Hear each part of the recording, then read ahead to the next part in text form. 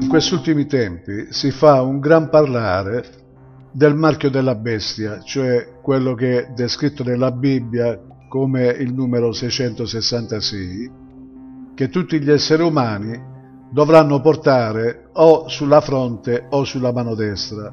Questo è descritto in Apocalisse, quando dice che nessuno potrà comprare o vendere se non chi ha il marchio della bestia, sulla fronte o sulla mano destra. E questo marchio corrisponde ad un numero e il suo numero è 666. Quindi è acclarato che il numero 666 è il numero dell'anticristo. E ripeto, questo sarà eh, portato da tutti gli esseri umani sulla mano destra o sulla fronte negli ultimi tempi per poter comprare o vendere qualsiasi cosa. Ma forse non tutti sanno che noi già usiamo il marchio della bestia per comprare o vendere e lo usiamo tutti già da un bel po' di anni. Infatti su tutti i prodotti che acquistiamo c'è il codice a barre, conosciuto oramai da tutti quanti. Questo codice a barre contiene una serie di linee e ogni linea corrisponde ad un numero e nell'insieme formano la combinazione del prodotto che stiamo acquistando. Se però prendete un qualsiasi prodotto che avete in casa e guardate il codice a barre, noterete che ha tre linee, tre doppie linee, più lunghe di tutte le altre. Si tratta della prima linea, dell'ultima linea e della linea centrale. Bene, queste tre linee corrispondono esattamente al numero 6.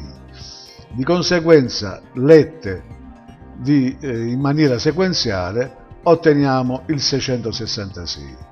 Questo significa che già stiamo usando il marchio della bestia per comprare o vendere, l'unica cosa che ci si aspetta adesso è l'evoluzione di questo marchio che, come ho già detto, sarà portato sulla mano destra o sulla fronte e questo sta già avvenendo con i microchip che dovremmo avere tutti quanti nella mano destra o sulla fronte.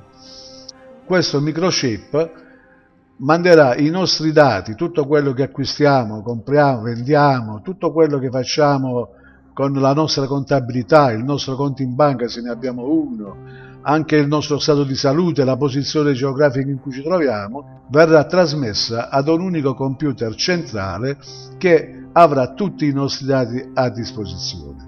C'è da dire che essendo uh, questo microchip anche collegato al, al corpo umano di quella precisa persona attraverso un compito biometrico, cioè riconoscerà il DNA della persona che lo porta, questo microchip per questo motivo non potrà essere tolto perché appena verrà estratto sarà diramato subito un allarme e subito ci verranno a cercare per potercelo reimpiantare e quasi sicuramente per subire una penalità per uh, aver tentato di estrarre il microchip.